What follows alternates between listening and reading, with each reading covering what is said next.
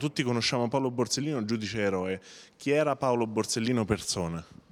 Beh, innanzitutto era un uomo di grande umiltà eh, che non faceva mai pesare nei suoi interlocutori la sua autorità e la sua autorevolezza.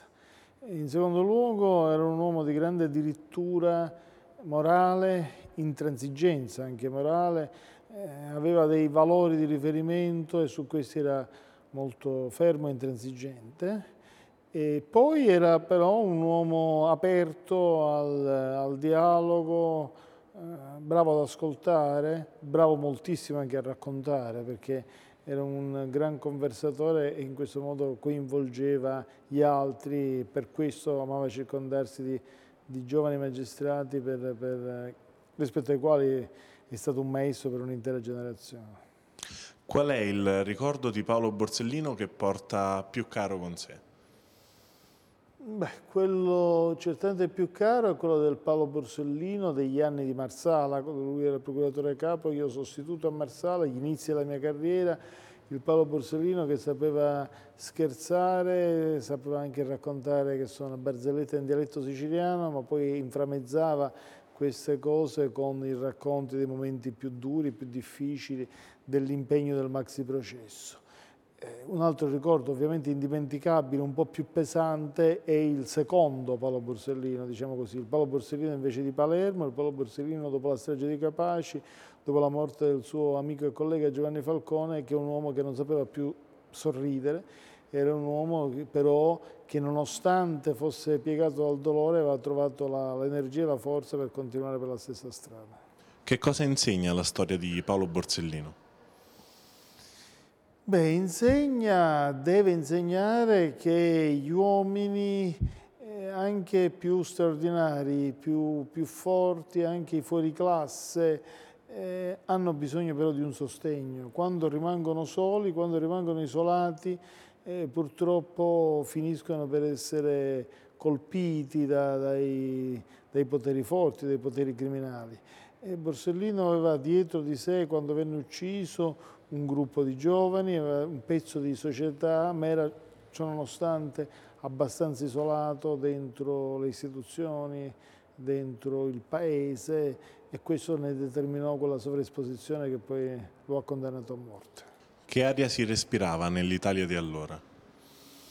Beh, si respirava un'aria pesante, perché i poteri mafiosi avevano una forte capacità di incidenza, c'era anche però un'aria eh, di voglia di, di, di riscatto, l'indignazione degli italiani onesti, eh, quelli che si erano ribellati perfino contro lo Stato, le autorità che dopo, dopo la morte di Falcone, ai funerali di Falcone, ai funerali di Borsellino, eh, la gente che, che voleva eh, reagire contro uno Stato che aveva lasciato soli i suoi servitori più importanti e più fedeli. E oggi che aria si respira? Beh, oggi si respira un'aria, credo complessivamente migliore di quella di allora perché è più ampio l'arco della società, soprattutto nei giovani, che ha visto in uomini come Falcone e Borsellino, molti giovani che magari non erano neanche nati a quel tempo, ma che continuano a vedere in uomini come Falcone e Borsellino dei modelli di riferimento e perciò si è creato un ampio movimento nel, nell'Italia eh, che vuole più verità, più giustizia, più legalità e chiede di partecipare. C'è una grande voglia di partecipazione alla vita pubblica e, e quindi c'è questo forte desiderio di cambiamento. C'era anche negli anni 90, subito dopo le stragi, e quella voglia di cambiamento eh, non ha prodotto i frutti voluti e mi auguro che questa nuova stagione sia migliore nei suoi risultati di quella degli anni 90. Che differenza c'è fra la mafia che combattevate allora e la mafia di oggi? Beh, la mafia di allora è una mafia con la quale eh, sentivi eh, la, il corpo a corpo, direi quasi sentivi l'odore del, dell'assassino mafioso che trovavi di fronte e che, rispetto al quale c'era lo scontro del muro contro muro. E la mafia di oggi, da un lato, dal punto di vista militare è stata certamente ridimensionata e meno pericolosa eh, però è diventata molto più insidiosa dal punto di vista delle capacità di condizionamento complessive. La mafia oggi è soprattutto potere finanziario con grande capacità di condizionamento sulla politica e questo naturalmente rischia di restringere gli spazi di libertà di tutti noi. Indagando eh, per vicende di mafia si arriva sempre alla politica, sin dal, dall'omicidio Notar Bartolo fino alla trattativa dei nostri giorni. Chi ha ucciso Borsellino, la mafia o la politica? Beh, un po' l'uno e un po' l'altro, anche perché non esiste mafia senza politica. Spero che esista un domani una politica senza mafia. Fino ad oggi in realtà c'è stato un binomio, mafia politica, politica mafia. E allora Borsellino è stato ucciso materialmente, certamente da mano mafiosa, ma eh, la politica ebbe un suo ruolo in quel clima di isolamento, di sovraesposizione che colpisce inevitabilmente ogni uomo anche dello Stato, non solo gli uomini dello Stato, ma soprattutto gli uomini dello Stato che vanno avanti per la loro strada senza guardare in faccia a nessuno, applicando il principio di uguaglianza di tutti i cittadini di fronte alla legge, non tenendo conto di trattamenti privilegiati, di, addirittura di pretese di impunità che spesso hanno avuto i potenti di ogni stagione, ai tempi di Falcone e Borsellino e ai tempi di oggi. Falcone e Borsellino sono stati ignobilmente assassinati. Il frutto del loro lavoro è morto con loro? No, direi, direi di no. Il frutto del loro lavoro è proseguito e c'è una generazione di, di, di allievi di, di, Falcone e Borsellino che eh, potremmo dire si sono un po' impadroniti di molti palazzi di giustizia. È stata un po' la presa del potere degli eredi di Falcone e Borsellino. Falcone e Borsellino erano molto più isolati di quanto non siamo noi, noi in questo diciamo, siamo un po' più privilegiati diciamo, rispetto a loro, è stato anche in virtù del loro sacrificio che questo c'è stata anche una rivoluzione, potremmo dire, culturale dentro la magistratura.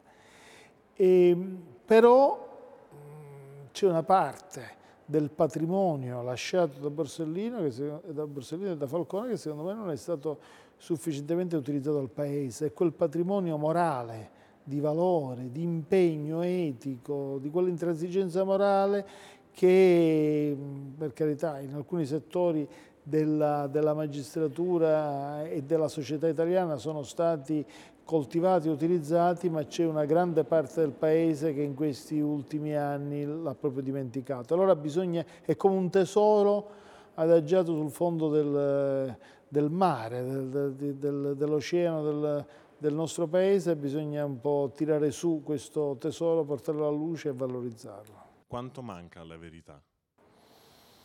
Beh, c'è un bel tratto di strada. Eh, sono trascorsi vent'anni da da quella, stagione mm, e addirittura eh, ci siamo resi conto dopo quasi vent'anni che c'era stata addirittura una verità giudiziaria in sentenze definitive che era una verità in parte fasulla, frutto di depistaggi e si è ricominciato a ricostruire un'altra verità più aderente a, a, alla verità vera, alla verità reale.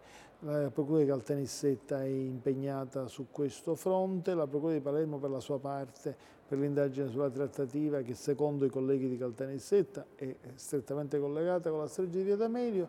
Io direi che sono emersi negli ultimi anni pezzi di verità molto importanti, più di quanto non si fosse riuscito a fare eh, fino ad oggi, eh, però c'è ancora tanta strada da fare e non dipende solo dalla magistratura, dipende dalla politica, dipende dai cittadini, bisogna creare le condizioni. Quando una verità è difficile, la verità è conquista collettiva, ognuno deve fare la sua parte. Se un ragazzo nato dopo il 92 le chiedesse che cos'è la trattativa, come glielo direbbe? Eh, direi che, che il ripetersi di una vecchia storia, di uno Stato che ogni volta che si è trovato in guerra con la mafia ha fatto la guerra per qualche anno per cercare poi dietro le quinte subito una pace, una tregua attraverso la trattativa. Ed è quello che, lo dicono ormai anche sentenze definitive da qualche anno, di tribunali, corti d'assise di, di Firenze, di Caltanissetta, quella trattativa che vi fu anche negli anni 90, quando lo Stato, quasi in ginocchio, sotto i colpi dello stragismo mafioso, cercò un accordo con, con la mafia e, eh, pensando forse, facendo male i, i, calcoli, pensando di poter fermare lo stragismo. Invece, come molti giudici hanno scritto in alcune sentenze, quella, quella trattativa è stato un effetto acceleratore delle stragi, perché i mafiosi pensarono che allora quel metodo pagava, era pagante, e quindi bisognava ancora più alzare il prezzo facendo altre stragi. Ci sono rischi per la chiusura delle indagini? No, io credo che non ci, sono, non ci sono rischi, non c'è stata nessuna interferenza diretta sulle indagini, le indagini sono arrivate a completamento, si farà un processo. Io mi auguro eh, che ci sia attorno a queste indagini, a questo processo, se ci sarà appunto un processo davanti al giudice, eh, per carità è giusta la, la, la, critica, la libertà di opinione, ma che ci sia un clima sereno perché nuoce alla serenità della magistratura che si creino scontri e conflitti. Vent'anni dopo, secondo lei, si è riusciti a tenere vivo l'insegnamento di Paolo Borsellino?